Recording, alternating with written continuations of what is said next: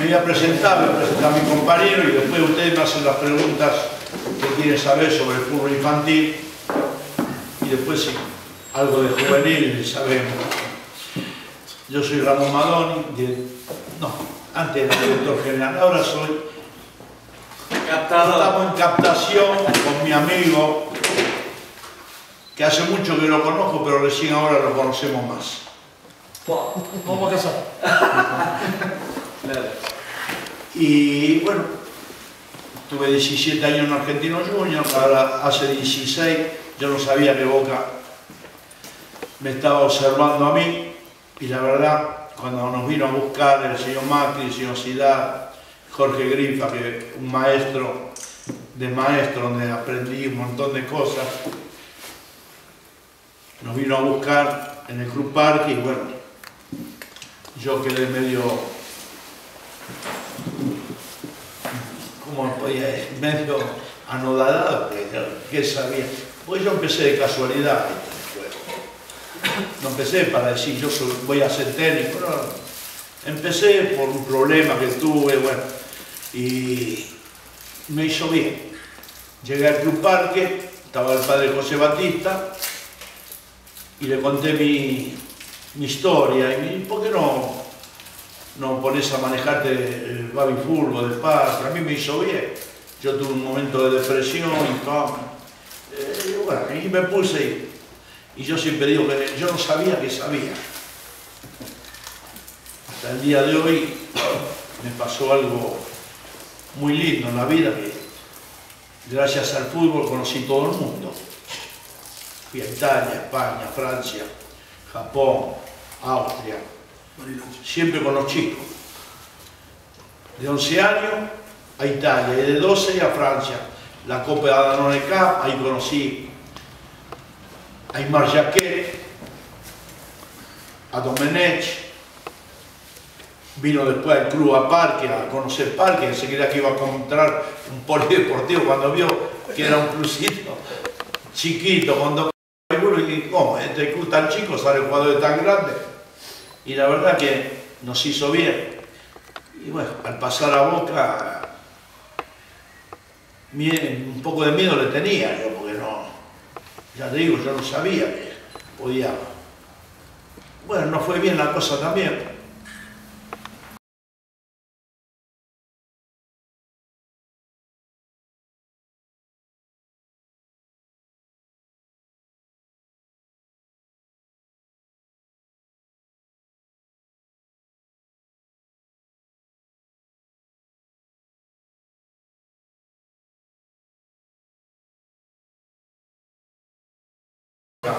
Muy bien, que es el área de captación.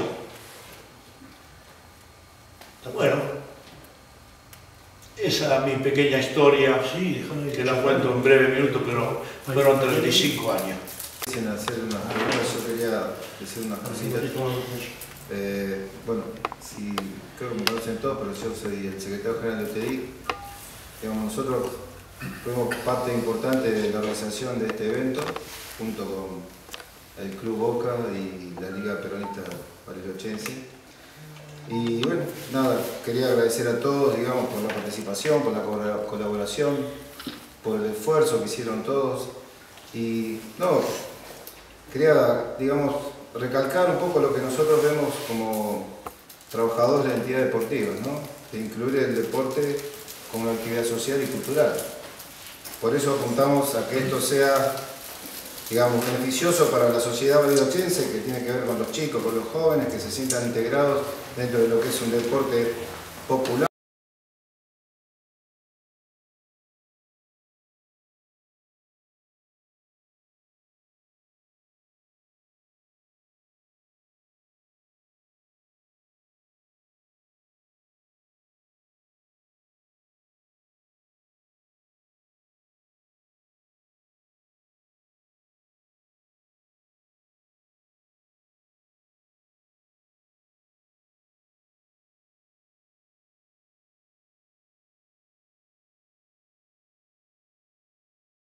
En esta iniciativa que,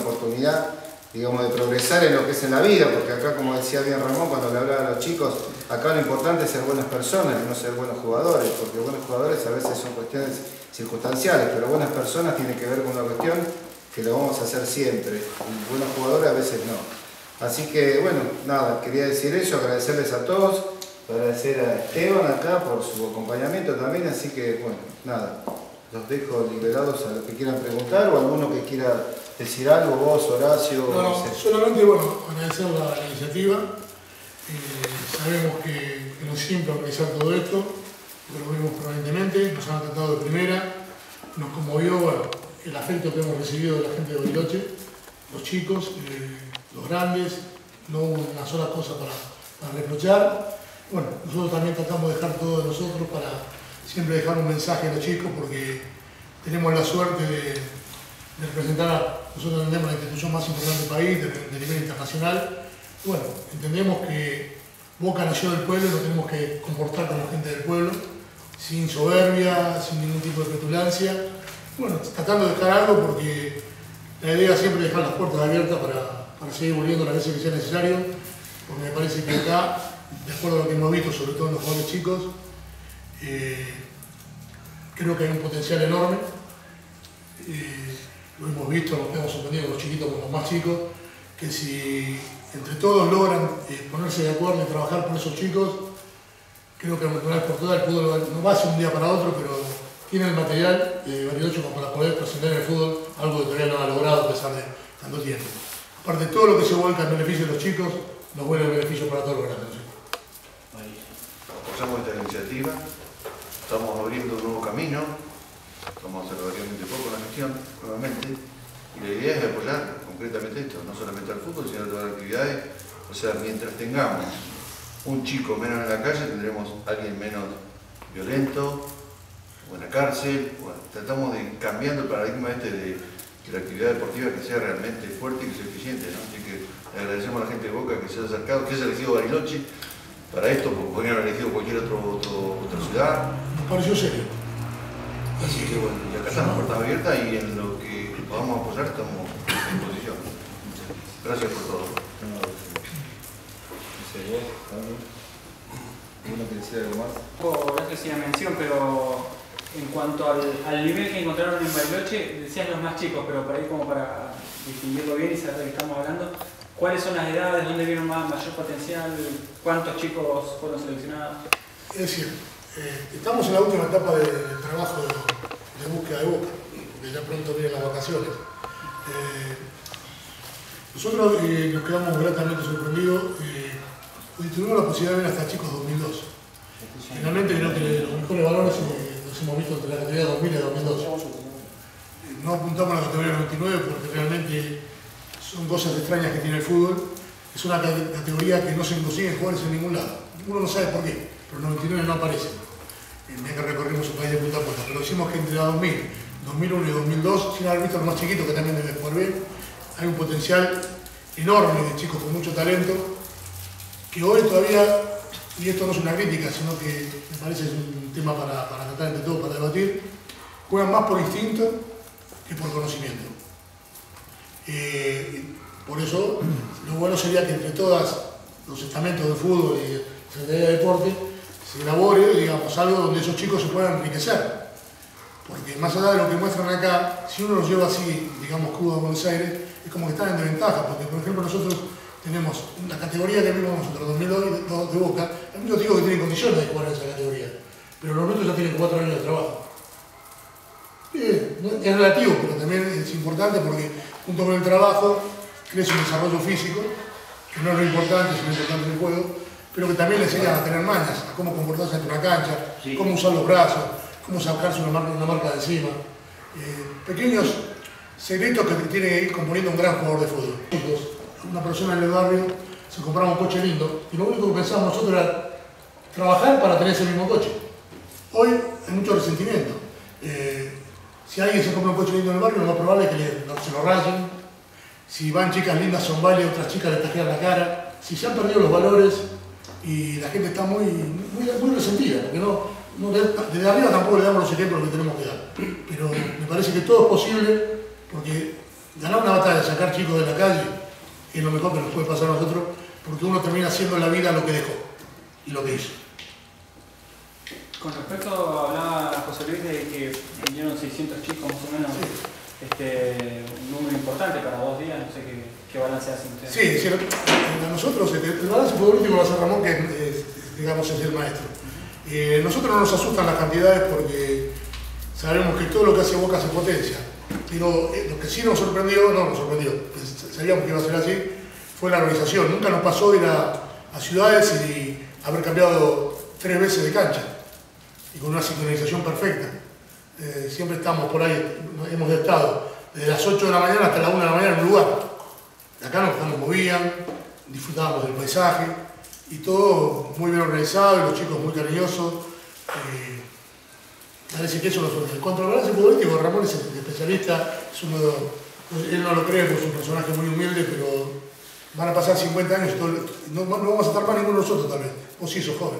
Pero todo el fútbol va a seguir hablando de Ramón, como alguna vez habló de Gandulia, como habló de Peruccelli, como habló de Uccini. Es un hombre que va a trascender, porque cuando alguien empieza a leer un libro de deporte y vea la cantidad de jugadores que sacó este hombre que está acá al lado, va a decir, ah, ah, ¿quién era este hombre?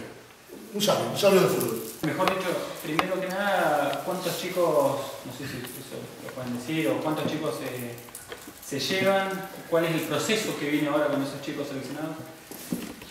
El proyecto, sobre todo, vamos a empezar de abajo para arriba, que es la última que vimos, la 2002. Hacer un seguimiento. Y yo quisiera que con la Secretaría, con los amigos que eh, emprendieron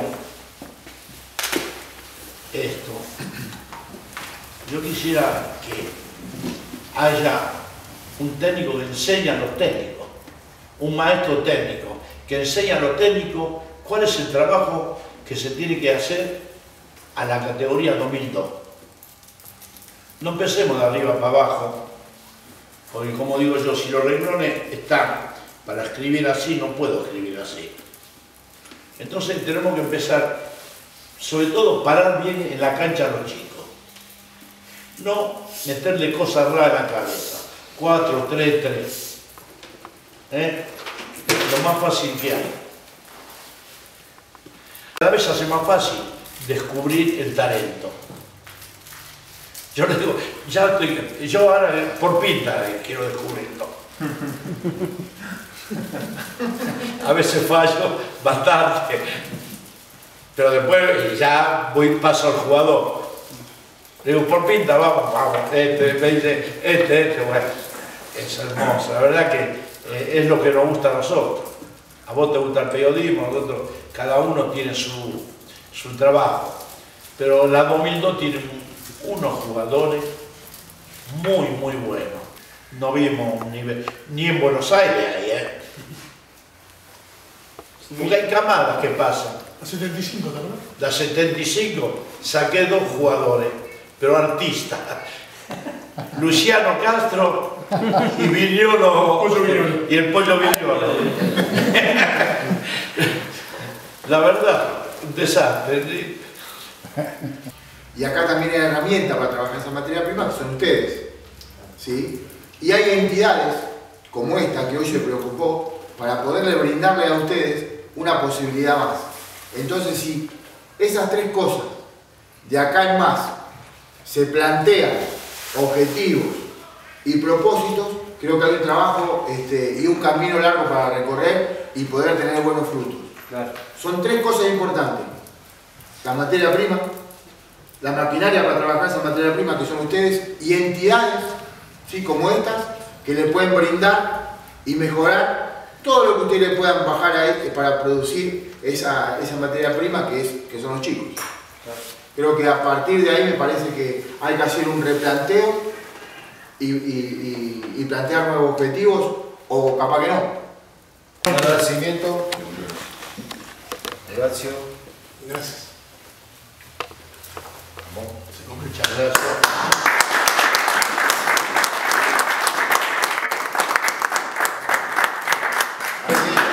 Cristian, te lo dejo. Bueno. Gracias, chicos. Gracias, pues.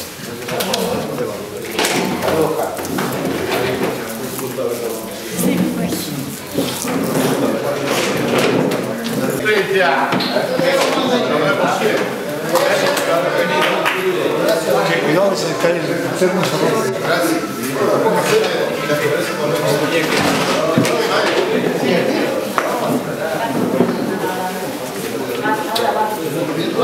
No,